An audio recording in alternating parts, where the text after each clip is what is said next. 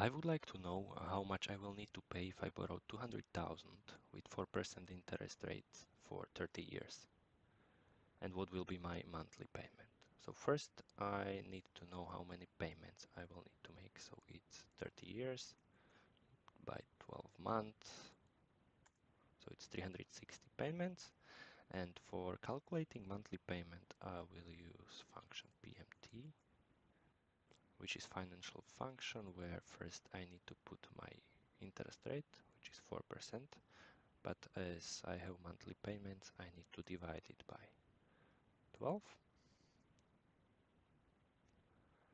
then I need to add number of payments and then total amount so my loan. So my monthly payment would be 954.83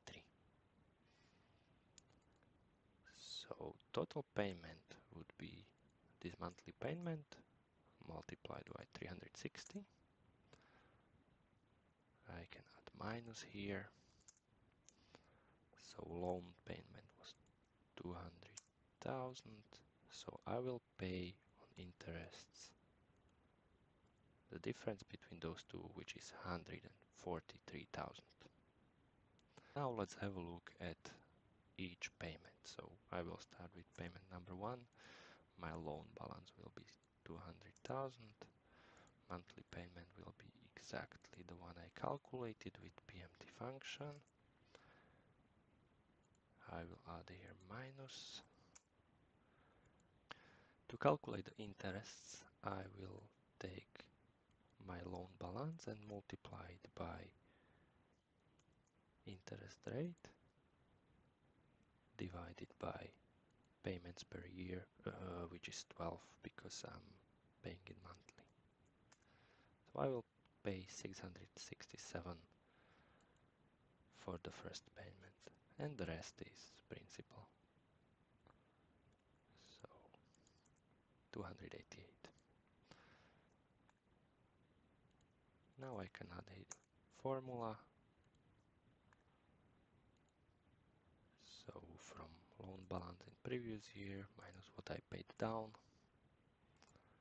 my monthly payment remains same and also interest rate is calculated same way as well as principal. Now I can just simply copy it down and I will have 360 payments up to here. Now I can see details of my monthly payments. So to double check this I will use just simple sum function.